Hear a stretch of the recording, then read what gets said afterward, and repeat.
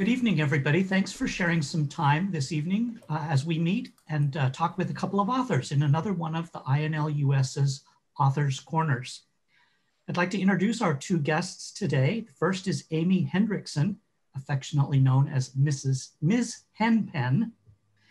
Uh, Miss Hen has been writing children's and nonfiction books since about 2011 when she began to attend the Iowa Writers Summer Festival two of her books kind of caught my attention. One of the ones that we're going to talk about today, but another one, they both really seem to have a strong female empowerment perspective, which I suspect she'll talk about tonight. She lives in Western Michigan and embraces her own Scandinavian heritage while living among Dutch in the communities that surround her. She's got two grown children, three grandchildren, and of course, two kitty cats, which you may see walking behind her from time to time. We've seen them already. Um, and she's here to talk about her book called Laura of the North. Welcome, Amy. And then we also have Eric Newman. Eric is our other author tonight, and he comes to us from Cincinnati, Ohio. Eric's taken numerous trips to Iceland, exploring the country with his children, and has some great tips and resources on his Icelandic with Kids website. He's now the proud father of five kids.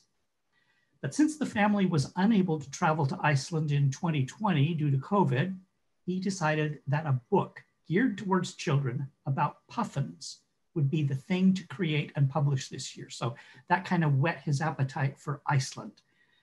Um, already, that book has won the silver medal for children's picture books, children's picture ebooks at the 2020 Moonbeam Festival.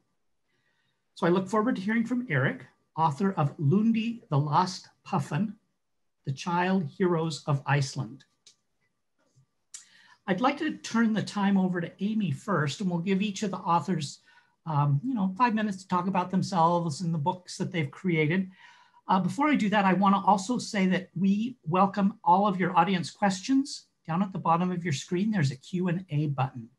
Anytime a question comes to your mind, type it in there and I will kind of monitor that box.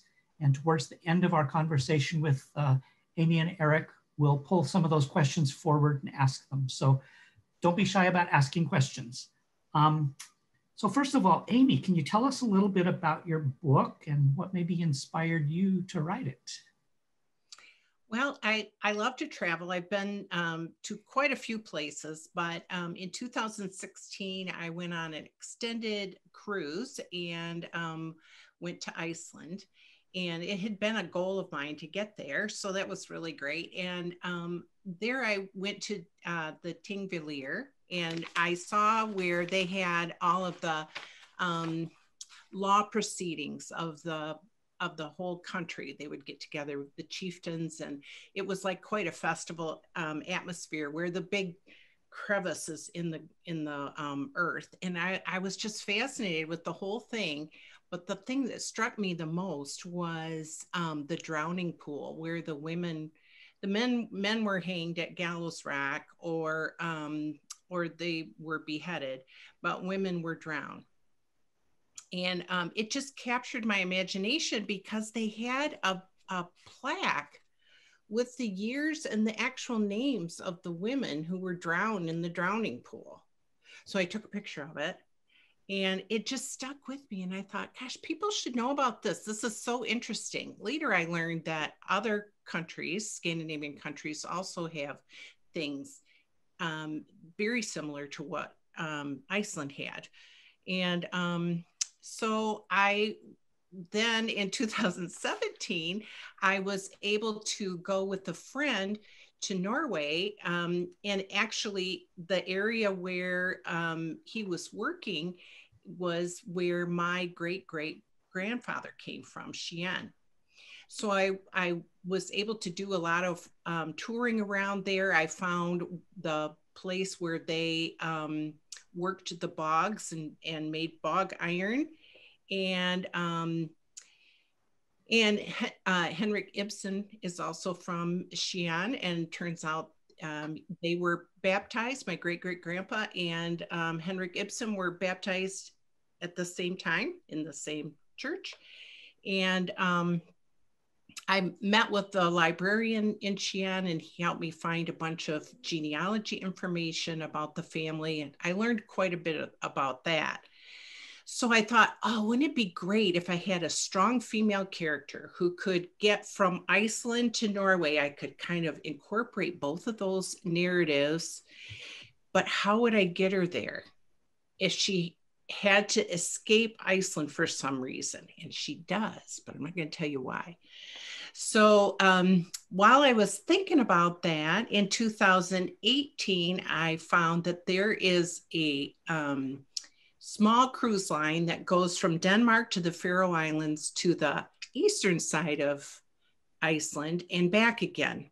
And I thought, now there's a way that it would work if she was somehow rescued and brought to the Faroe Islands, and then from the Faroe Islands went to Norway. So I um, incorporated what I learned at the in the Faroe Islands also, and so that's where Laura goes. She goes from Iceland to Faroe Islands to Norway and back to Iceland, which is a familiar theme in a lot of stories.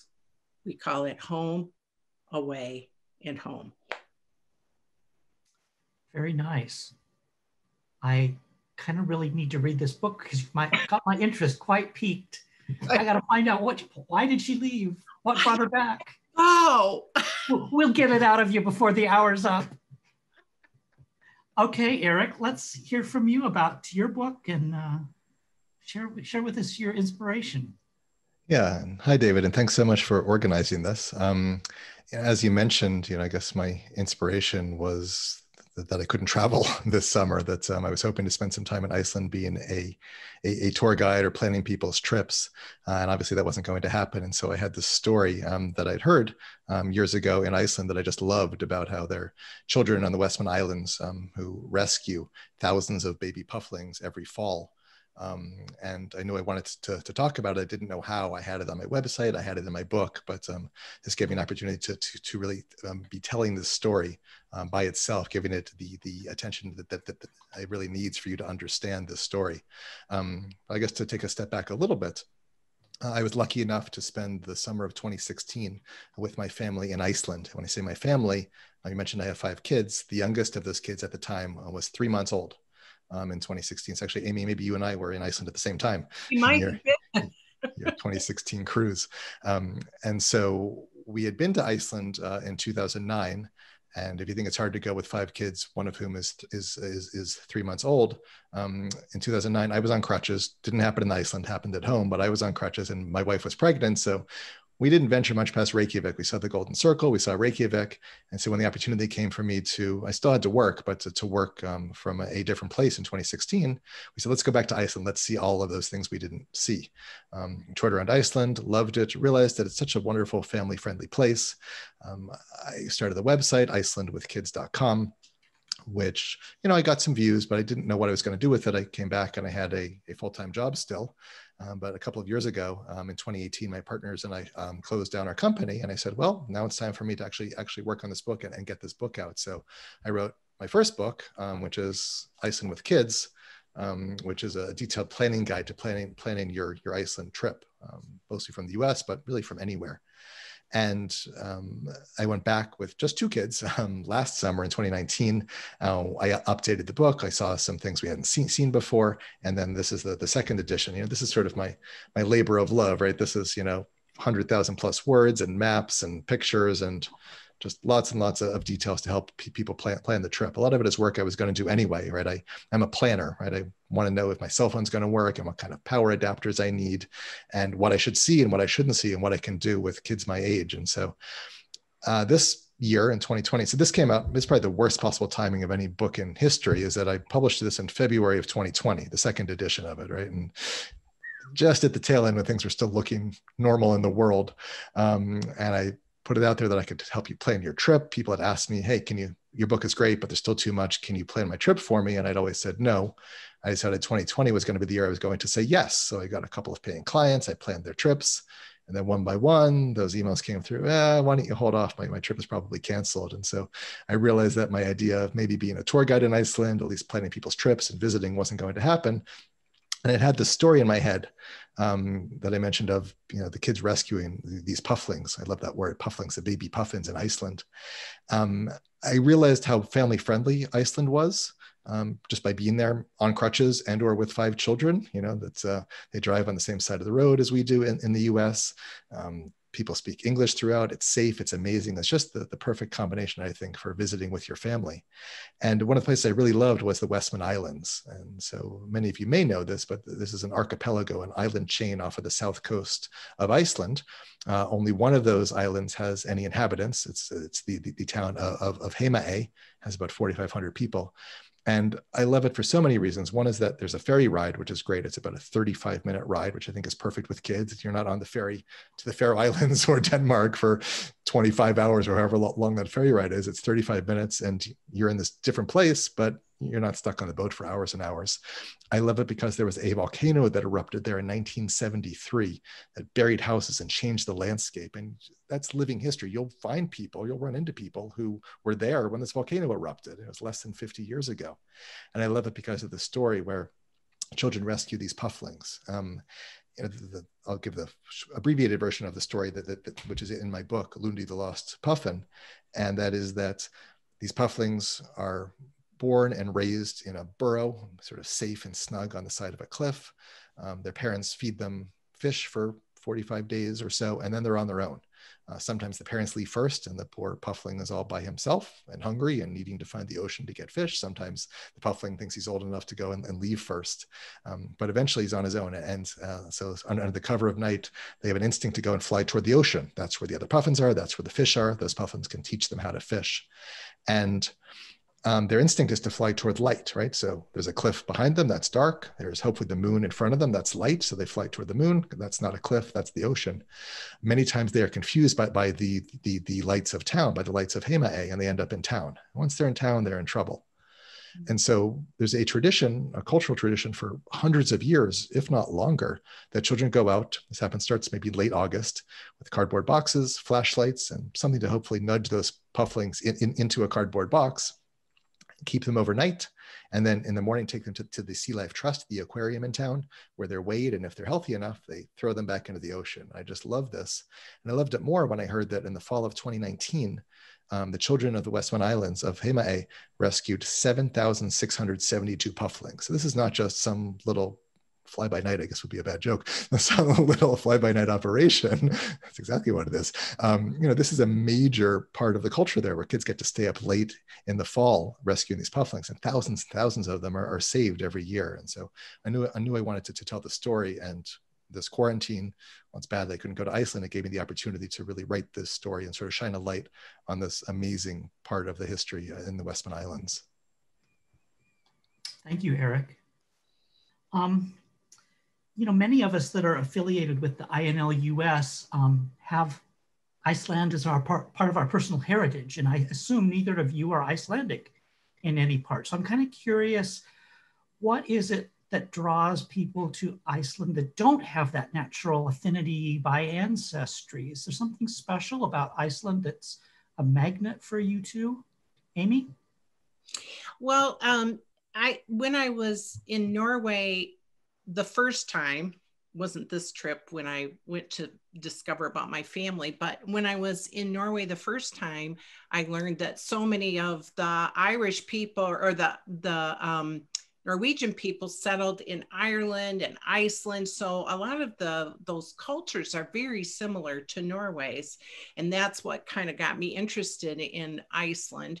Plus, I just think there's so many cool geographical um, areas in Iceland that you can see in a small amount of time, you know, with the volcanoes and the geysers and the uh, glaciers. And yeah, we rode little horses, little Icelandic horses while we were there. It was great. It's a, it's a great place to visit. I agree with Eric there.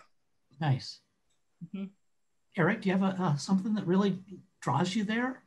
Yeah, and Yeah, I'll be honest that my first trip was really just based on on, on it being practical. You know, we went in 2009 after the economic crisis when the Icelandic currency had weakened dramatically. So Iceland was on sale. I, I sort of joke with people and also you know living on, on the east coast at the, at the, at the time we lived in, in in philadelphia it was a faster flight to iceland than it was to california right? And so for me and they, they drive on the right side of the road. And for me just the first time i visited it was just let's go somewhere with with our kids. But during that trip all of the things we saw and what amy mentioned that world class attractions and waterfalls and you know continental rifts and volcanoes and things that are and many of those things you know visible from the main road from ring road right? And so we realized that there was a rich cultural heritage there and so many amazing stories my, my link story but so many other stories as well um, that really just sucked me in and meant it, it, was a place that we wanted to spend you know after we spent a week there we wanted to spend 12 weeks when we had the opportunity. So rich culture and amazing sites. And i tell people i think it's a perfect combination of safe and amazing right? There you'll see on instagram some amazing pictures from all over the world. They don't tell you that you know, they were afraid of getting robbed in, in the taxi or not in Iceland, other countries. They don't tell you how they get or a three hour hike to get there. Um, Iceland has that same amazingness, that same awesomeness, that awesome natural beauty in a package that I think is very accessible and safe, and safest country in the world as, as far as I can tell, combined with probably the most amazing country in the world. And I think that's a really rare combination. And obviously, to be number one or high on both of those lists, it's the perfect combination, I think, of safe and amazing. And I realized that after I'd been there.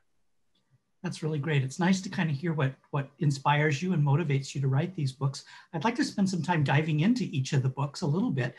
Um, so, Amy, I understand that Laura, is how we'd say it in Icelandic, mm-hmm. um, is set in like the early 1700s as a kind of a starting point.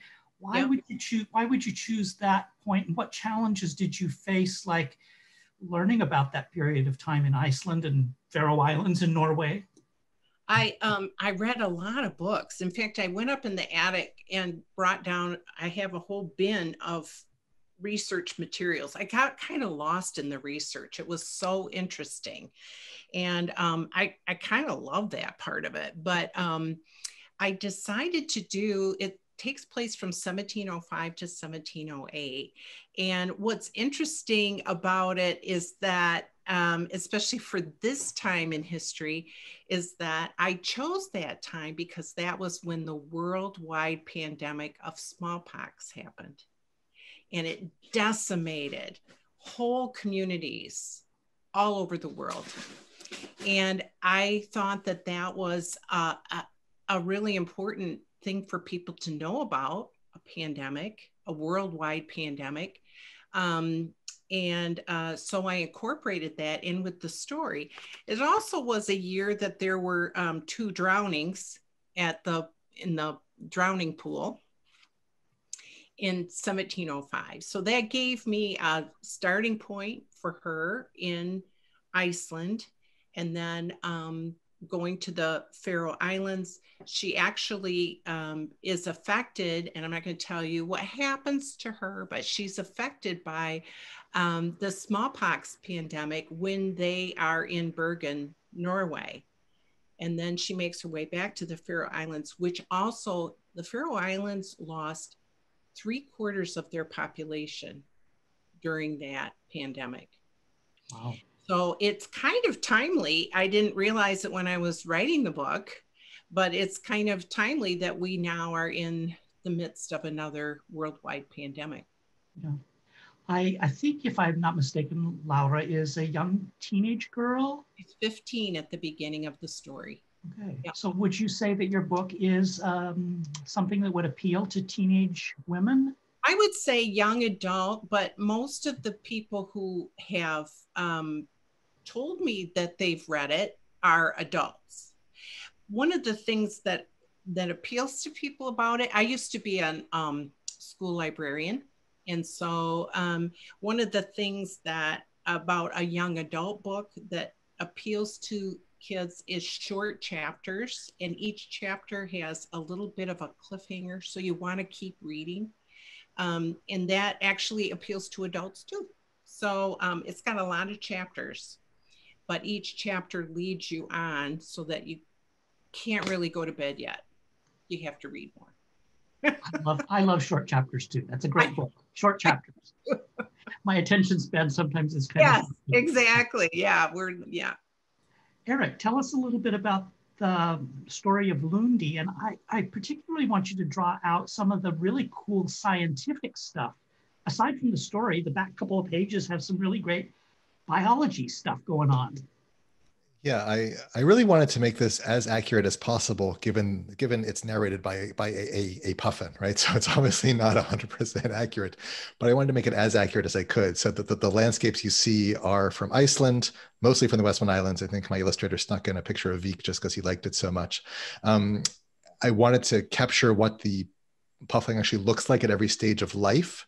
Um, and I think uh, you know we can jump to that. Actually, I think I don't have this up, but I can I think what you mean is sort of this mm. um, where I kind of show, and actually I have better illustrations here. One of the things that I realized when researching this is that the the puffling looks different. The puffling looks different at each stage of life. When it's born, it's this sort of cute, fuzzy chick, um, you know, sort of nice and, and furry and fuzzy and cuddly. Um, and what we picture as puffins, and let me actually see if I can share my screen here. Um, this is actually a, a, page from the book, and hopefully you guys can see now. Um, this is sort of the classic look of, of a puffin has. Noticed the orange beak and those orange feet. And everybody thinks oh this is what a, a, puffin looks like when it's grown up. Well that's true. This is what it looks like when it's grown up. But it turns out it doesn't get the orange till it's maybe three or four years old. Until then there's this sort of middle stage the adolescent stage if you will. Um, and here you can see on the right hand side um, he doesn't have orange feet and orange beak right? It, it's sort of grayed out. It's gray a little hint of orange coming in there, but I wanted to make sure that I was accurate. And in fact, I had to go back to my illustrator a couple of times and say, oh, I forgot his feet shouldn't be orange here. His feet should be gray. Um, this page as well, I wanted to make accurate. So this is, I actually got uh, got uh, permission from the Sea Life Trust, which is the aquarium where the the, the, the pufflings are brought and weighed. Um, I got, I, they, they allowed me to, to use the, their logo in the book you can see there.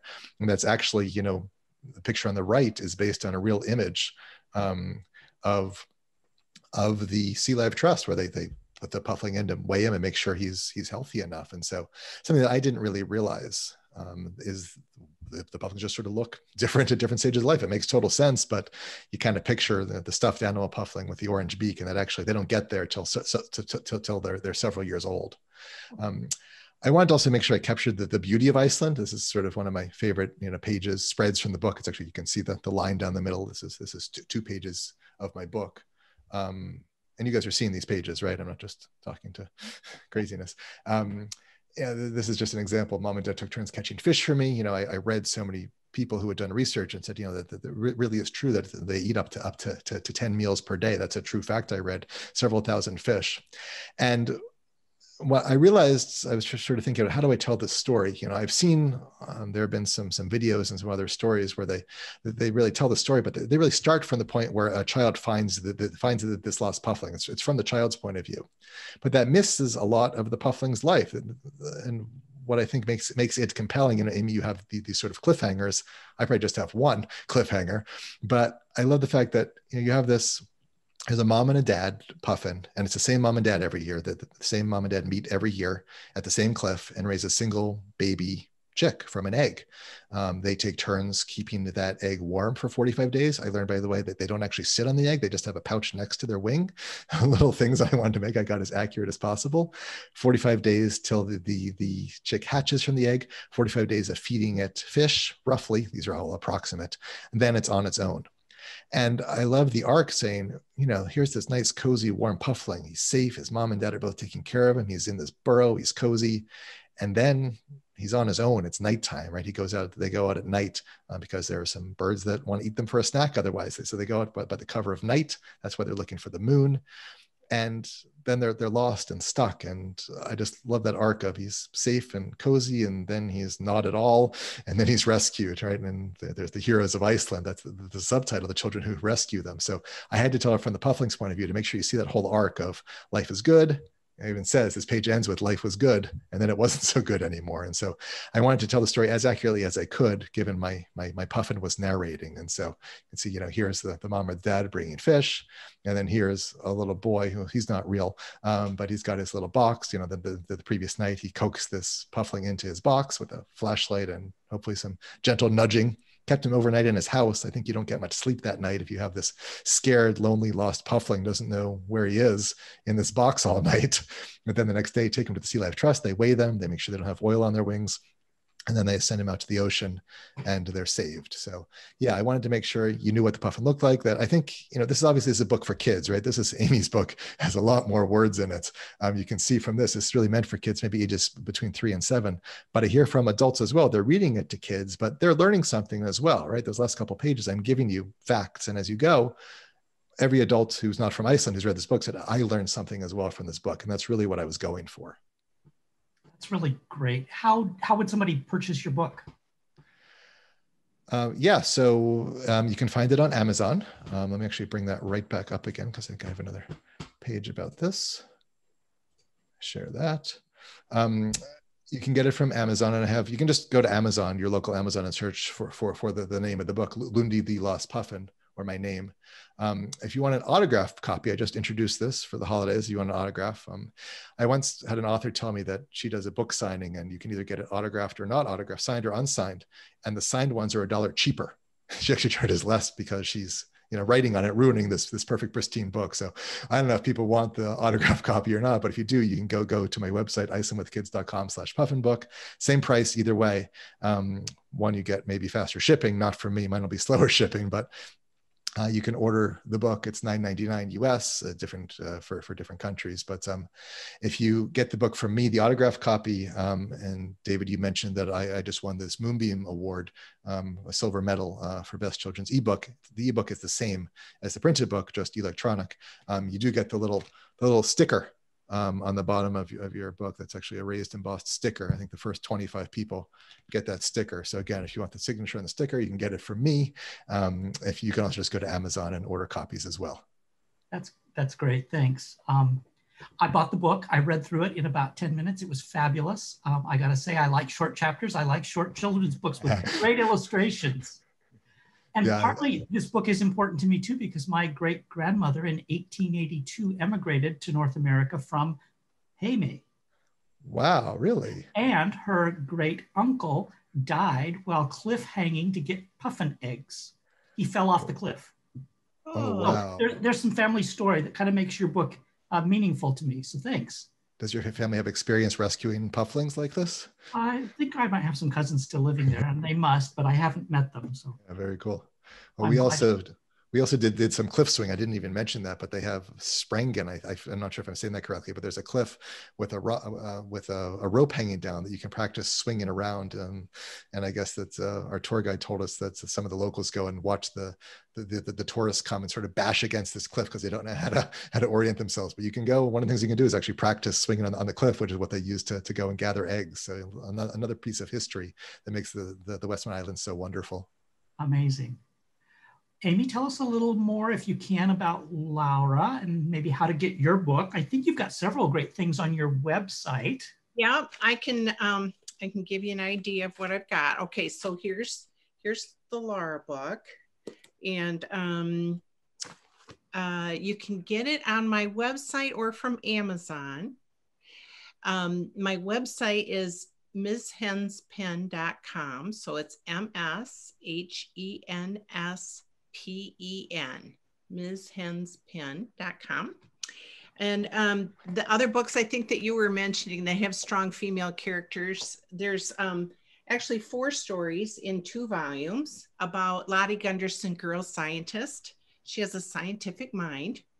And um, so there's Lucky Lottie, Spotty Lottie, Rocky Lottie, and Lakey Lottie. And in each one, there's a little um, there's some scientific information that kids can glean through a story about uh, third graders and that's about the it's interest level from probably first through fifth grade and uh, about a third grade reading level so so what is it about that female empowerment message that you're sending to girls as being scientists and rock hunters or whatever those new books are, but also Laura. What what female message are you sending with through Laura? Well, I really love that she solves her own problems. She's not um she's not like a man hater or anything. She does actually get married in the story.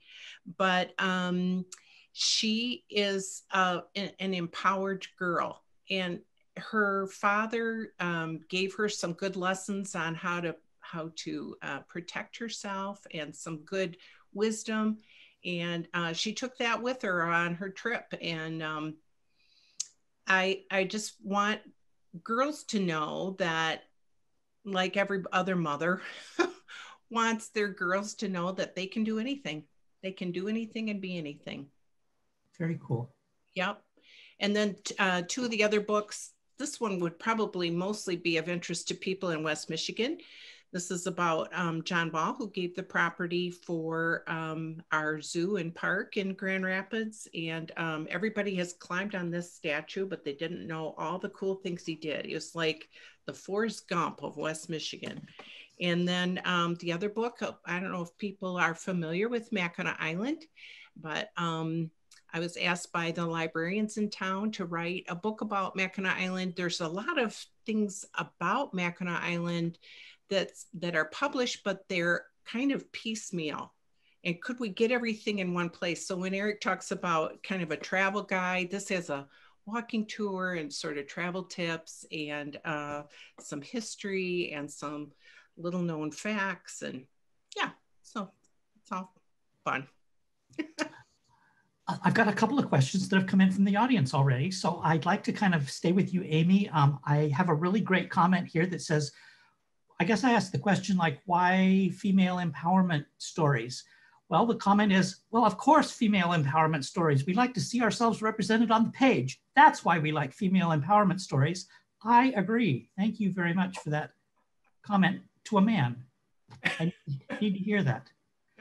And um, another question did you set out to write books with female lead characters? Was that intentional from somebody? Um, one of my favorite stories from when I was a kid was Pippi Longstocking. You know, like who couldn't love a girl who lives by herself and can lift a horse with one hand? She could do anything. And I just love that idea. And um, when I was working in the elementary libraries, there were so many stories about oh princesses that need to be rescued and uh, and I, I just I, I I kind of reject that whole uh, genre of children's books in that they really give kids a wrong impression about who they are and who they can be. So I that's that's really why I wrote the Lottie Gunderson books. Great. And boys read them too, which is part of the goal. Eric, somebody from our audience asks about your illustrations, saying that the illustrations are amazing. What was the process to bring the story to life through these illustrations? Yeah, well, thank you. First of all, I didn't do any of it. I just chose the person to to to to to draw them. You know, I realized when I went to do this book, I did most of the work for my travel guidebook myself, right? So I I paid someone to, to, to do the cover, didn't like it, and then made the cover myself. I paid someone to handle the layout for me, didn't like it, and then ended up doing the layout myself as well. When it came to the illustrations, I knew I couldn't do it. That is that is my my forte. Um, I looked at a lot of people's sample work online, uh, people who mostly did animals. I wanted to find someone who could, could sort of capture personality with, within the animals. And I actually ended up um, hiring two different people. Um, I asked them, I, I, paid them both money to, I said, uh, make my cover for me. And I'm realizing right now, I actually have a, a painting that a, a, woman made for me. I didn't end up using her work, but it was a really nice painting of, of a, a puffin. I should probably use that somewhere. Um, but both of, the, both of them made a, a, cover for me and I sort of went out to friends and family. Um, let me see if I can sort of quickly, you know, show you the, the cover here you know showed me this this image. And i just love the love the, the the personality he captured the sort of depth and color. I really feel like i got lucky by finding him. Um, maybe it's a little bit of what i did because i went through you know 50 to 100 different portfolios of people and chose two to actually hire you know pay them both to uh to to to to make that cover for me. But um, once I, I, I found this illustrator, um, I knew I'd really found someone who was who was going going to to to to, to be great, and I just sort of gave him guidance, um, gave him sample pictures. That turned out to be really critical. Is that he sort of left to his own devices, he would make something really cool, but it wouldn't really look like Iceland as much. It would just look like something beautiful, some beautiful shoreline or coastline. And so I learned that um, I went online and I again gave him this portfolio, probably over hundred different images. So I said, okay, for this page, I want to have you know a puffin flying over a cliff. Here are five pictures of cliffs from Iceland. Um, and that really gave me made his his work was amazing but then it gave it that that sort of accuracy that actually looked like iceland i think that sort of working with that so one sorting through a lot of people and finding the right person and then two letting him letting him do his thing after I gave him the guidance. Here's what I want. Here's a dozen different sort of stock images, if you will, reference images. I think made his work much much better. I'm sure his name is in your book, but what is this great illustrator's name? Um, yeah, his he goes by. I can. It is in the inside of the book. He goes by Kronos Mond. That's what what he likes to, to do, and I can put a link out there. But yeah, in the book, um, K R O N O S M O N D. Um, he's international from Indonesia, I think, and so um, oh. you can find him online. And um, yeah, he was very reasonable to work with, and he was he was great. Highly recommended. Now, two rather practical questions came through. I think I'll kind of merge them together. The first is, uh, have either of the authors studied the Icelandic language in any depth? And do the authors get more money from the book by buying direct? Versus Amazon? Those are good questions. You want me to take it? Sure. Okay.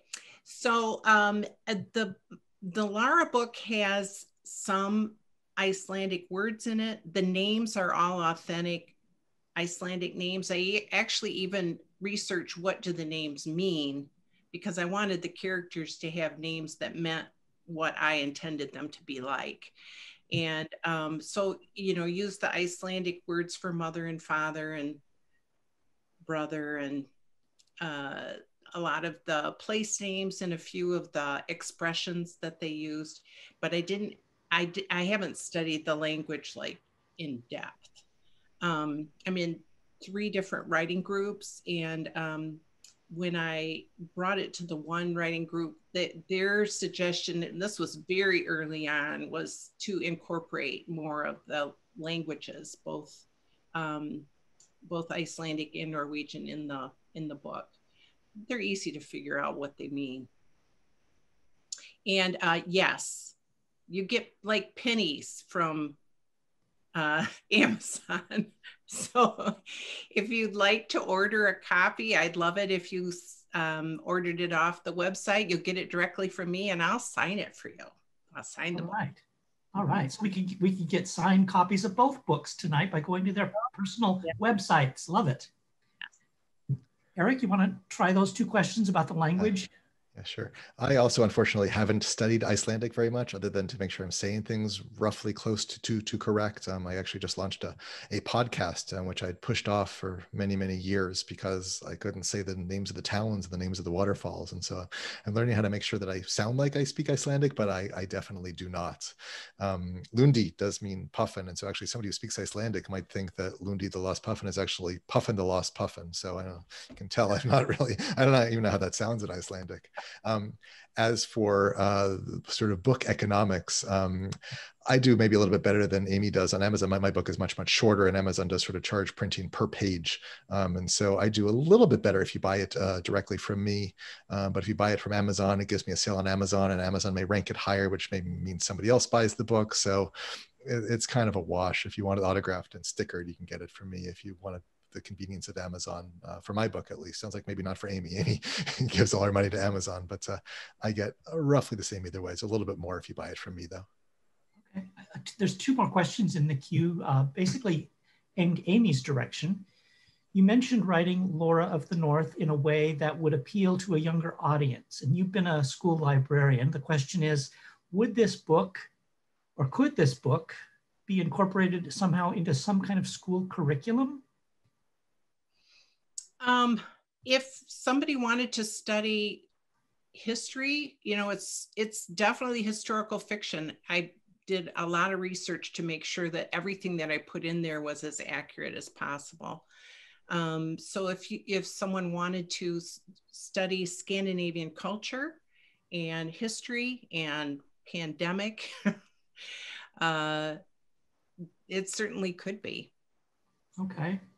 Mm-hmm. Um, let me see. Do you plan to go back to Iceland and maybe perhaps do research for another book? Is there another story around the drowning pool, perhaps? I have so much research. I could do like a prequel and two sequels. I don't know if I have it in me. It took me like three years really to write this book. yeah, I wanted to ask so, you what some of the challenges are being an author um, and publishing in time, I guess, is one big challenge.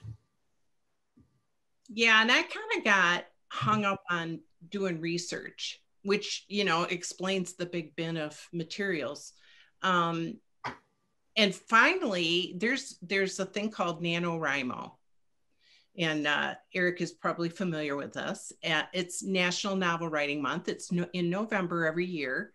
And so in 2019, after I went on the trip from the Faroe Islands to Iceland and back, um, I uh, joined on with NaNoWriMo. I thought I've got to at least get a draft done. I've got to get it. So I wrote every day, all day for the entire month of November. And I had written parts of it prior to that, but um, I, I just felt like I had to like, okay, quit it already, start writing.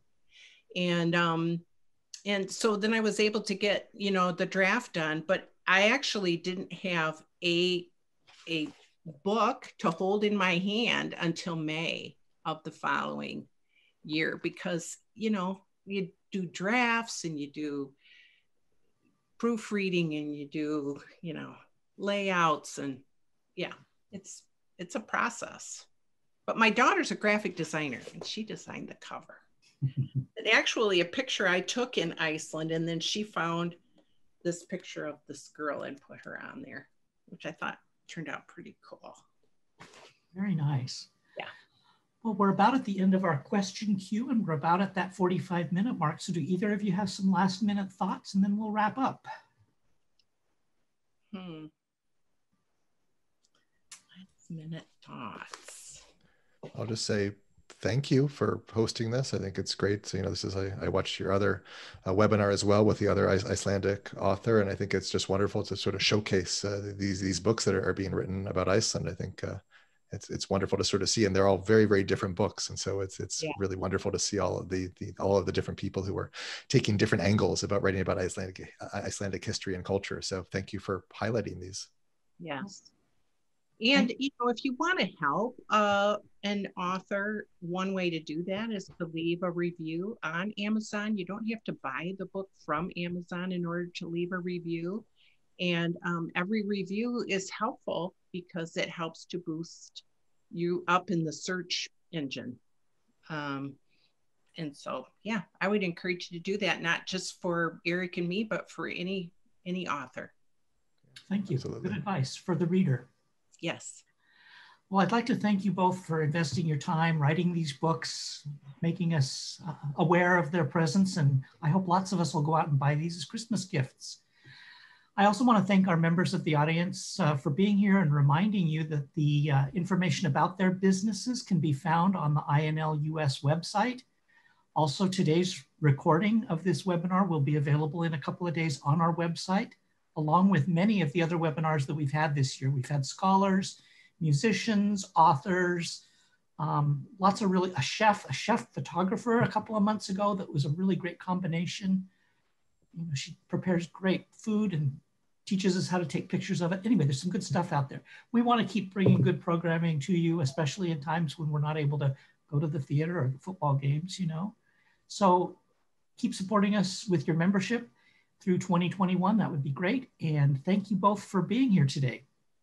Thank you so much. Thanks much. very much. Goodbye, everybody.